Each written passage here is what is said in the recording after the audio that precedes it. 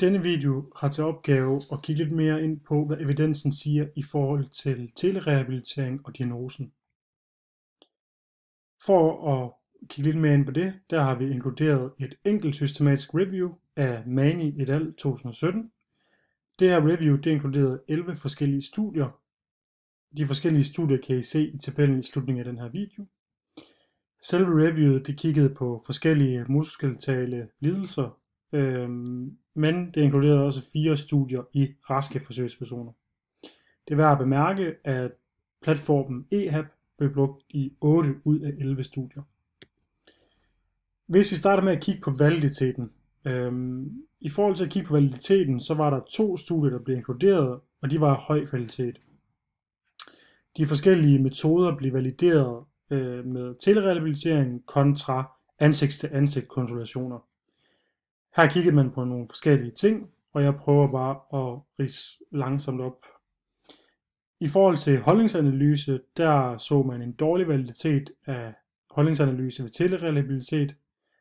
Ved gang- og balanceanalyse, der så man en fremragende validitet. Og på funktionelle test vil jeg gerne highlight den øh, klassiske Timed Up and Go, som viste sig at have en moderat til god validitet. Kigger vi på specifikke ortopædiske test, så var fire studier inkluderet, og de fandt øh, lidt forskelligt. Øh, overordnet set, så øh, kan man sige, at skuldertestene var lidt mindre valide kontra ankeltest. Øh, kigger vi videre, øh, samme igen, telerehabilitering sammenlignet med ansigt til ansigt. Range of motion ved øh, ledmåling øh, på skærmen har vist sig at have haft en fremragende validitet. Kigger vi på styrke udholdenhed, straight leg raise øhm, øh, i kroniske lændrygsmerter har haft en god validitet. Og kigger vi på patientrapporteret styrke, så har det en fremragende validitet. Når vi måler på smerte i ankel, skulder og albue, så viser det sig at have en OK til moderat validitet. Og kigger vi på hævelse, så er der en moderat validitet. Kigger vi på neodynamiske test, så bruger man igen straight leg raise test, og den viser sig at have en moderat validitet, og albu- og skuldertest har en lav validitet. Kigger vi på reliabilitet, så har vi inkluderet, eller Mani har inkluderet 5 ud af 9 studier, som var af høj kvalitet. Det er værd at benævne, at ingen af studierne havde blinding af tester. Starter vi med holdning, så igen, den øh, lumbale øh, holdningsanalyse har moderat reliabilitet. Ganganalysen, den har en fremragende reliabilitet.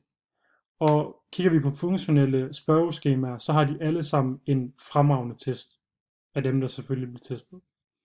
Kigger vi på specifikke ortopædiske test, så viser det sig, at både intra- og interreliabiliteten af skulder, albu og ankeltest har været fremragende.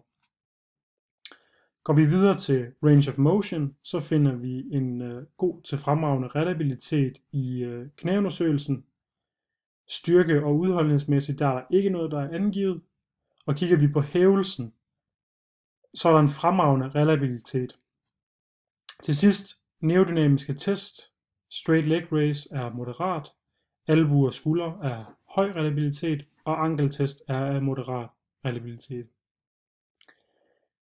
Til sidst så vil vi også godt snakke lidt omkring de her begrænsninger, vi har set i forbindelse med det her studie.